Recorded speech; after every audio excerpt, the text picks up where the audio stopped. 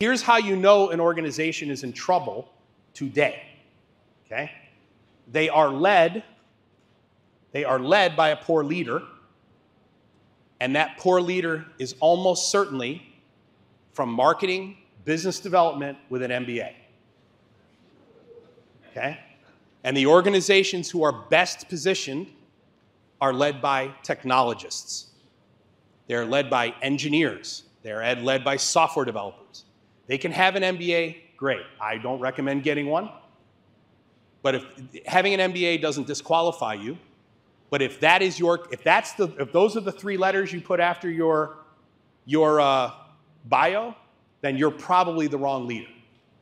The employee of the future is the person who grew up under technology and who has the ability to unlock the potential in that technology in ways we cannot possibly fathom.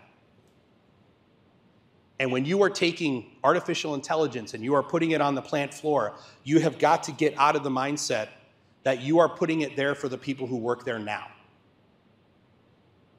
Because you're not. You're putting it there for the people who will work there in the future, the employee of the future. But you're going to solve the problems of the people who work there now. But the person who's really going to unlock the potential in the technology is the employee of the future.